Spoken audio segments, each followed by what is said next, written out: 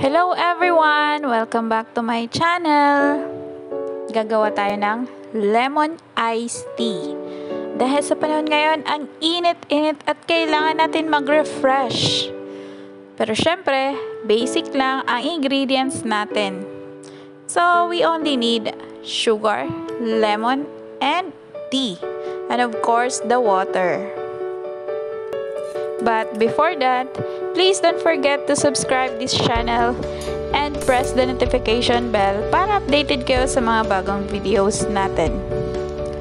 So, madali lang tong gawin. So, kahit sino, kayang-kayang gawin ang paggawa ng lemon iced tea.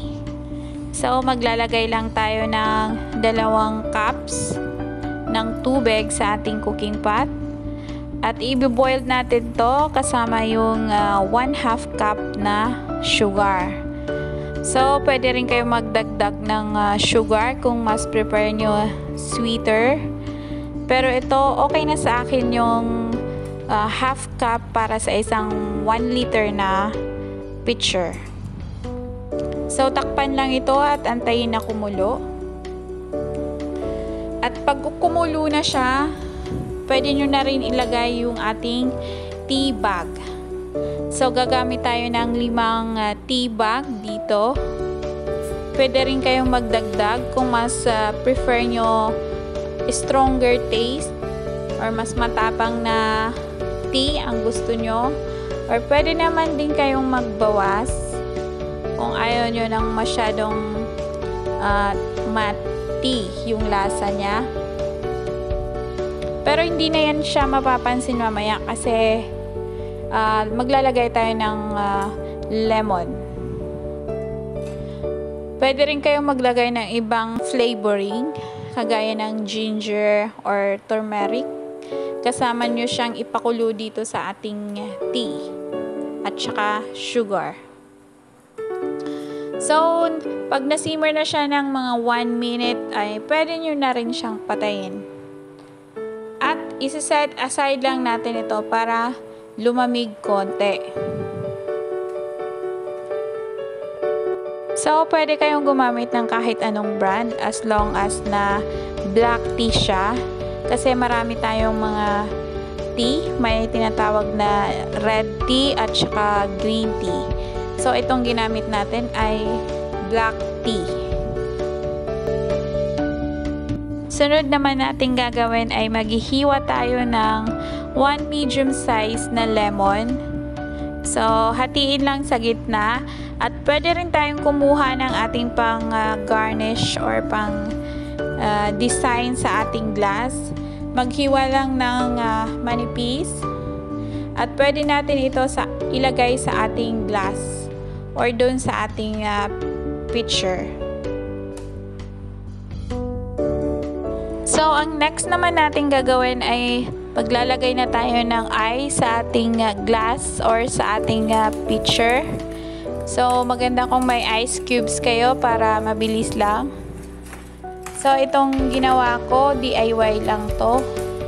Lagayan actually to ng yogurt. Pero nag-work naman siya. Nakagawa tayo ng mga ice-ice dyan. Medyo malaki nga lang. Pero okay na siya mabilis lang makuha. So, gumamit lang ako ng food tong para makuha yung ice para mailagay natin sa ating pitcher. So, pwede nyo namang gamayin yan, pero ayoko lang hawakan yung ice. Ayan. At saka, next natin ay mag-squeeze na tayo ng lemon. Siyempre, gagamit tayo ng strainer para wala namang uh, mahalo na buto-buto dun sa ating uh, lemon. So, squeeze lang natin yan. One medium size ng ating lemon.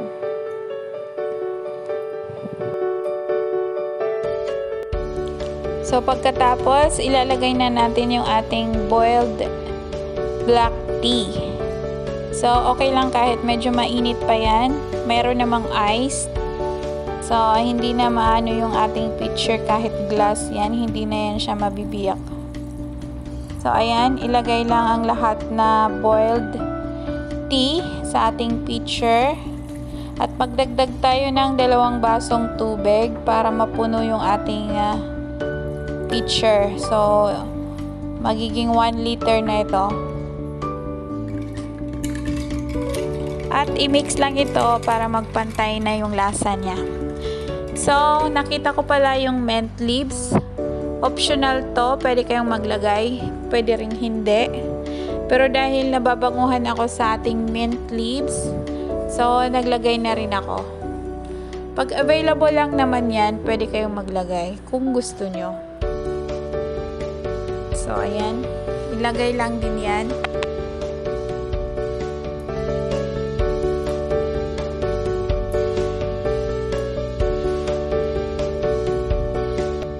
So, ayan, i-mix lang natin to ng konti at saka ready to serve na siya. So, masarap tong inumin lalo na ngayon sa panahon ng tag-init.